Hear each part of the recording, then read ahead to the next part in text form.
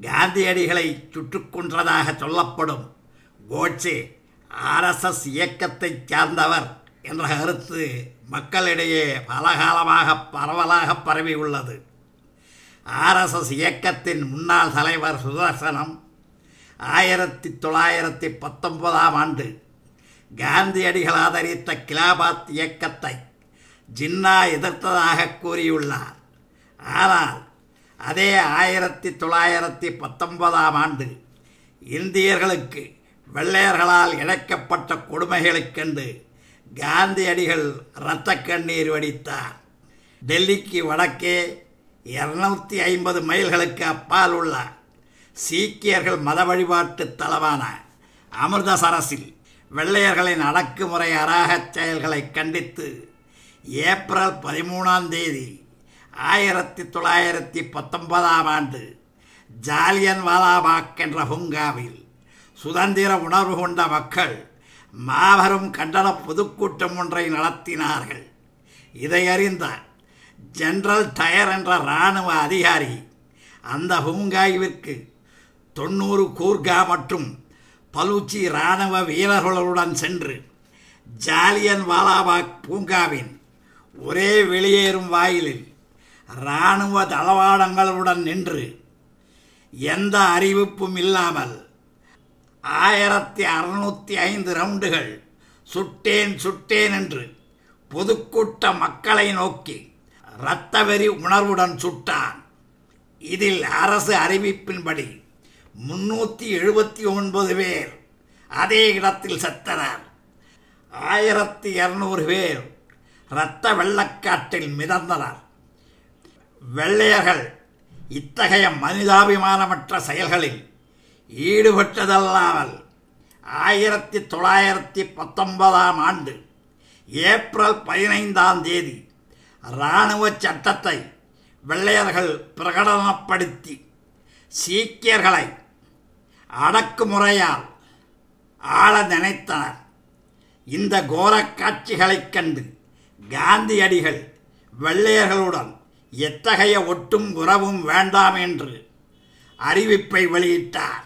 ஆயிரத்தி தொள்ளாயிரத்தி பத்தொன்பதாம் ஆண்டு இதையெல்லாம் அறிந்த ஜின்னா அவர்கள் ஏன் கண்டனம் தெரிவிக்கவில்லை? செத்தவர்கள் சீக்கியர்கள் என்ற காரணத்தினாரா ஆர்எஸ்எஸ் தலைவர் சுதர்சனம் தான் விளக்க வேண்டும். அன்றைய பிரிட்டிஷ் பிரதமர் சர்ச்சில் இந்து முஸ்லீம் மக்கள் அடித்துக்கொண்டு சத்ததை வேடிக்கை பார்த்து கொண்டுதான் இருந்தார் இந்து முஸ்லிம்களின் இனச்சண்டை இந்தியாவிற்கு பிரிட்டிஷார் சுதந்திரம் கொடுக்க நினைக்கும் துயர நாளை தள்ளி வைத்துவிடும் என்றுதான் அவர் நினைத்தார். நேரு அவர்கள் இந்து முஸ்லிம்கள் ஒற்றுமையை வலியுறுத்தி ஜின்னாவிடம் ஒப்பந்தம் செய்து கொள்வோம் என்று கூறியபோது ஜின்னா அவர்கள் அதை ஏற்க மறுத்துவிட்டார்.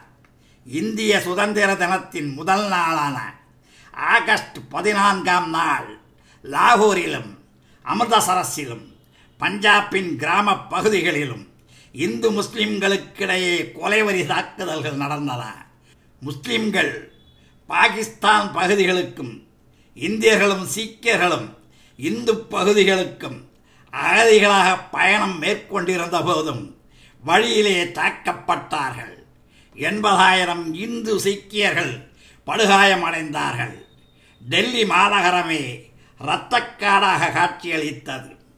நேருவின் தலைமையில் எல்லா இனத்தவரும் ஒன்று சேர்ந்து மந்திரி சபையை அமைப்போம் என்ற கருத்தை ஏற்றுக்கொள்ளாத ஜின்னா அவர்களின் நேரடி நடவடிக்கை போராட்டம்தானே இந்த இரத்தவரி தாக்குதல்களுக்கு காரணம்.